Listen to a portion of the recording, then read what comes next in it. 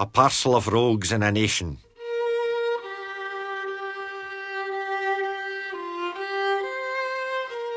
Farewell to all our Scottish fame, farewell our ancient glory, farewell even to the Scottish name, sae famed in martial story.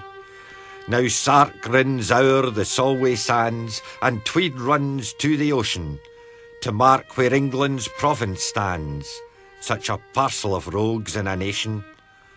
What force or guile could not subdue through many warlike ages is wrought now by a coward few for hireling traitors' wages.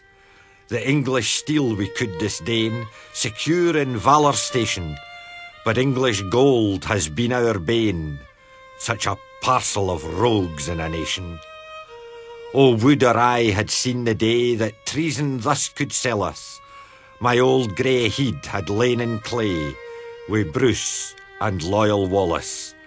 But pith and power, till my last hour, I'll make this declaration. We're bought and sold for English gold, such a parcel of rogues in a nation.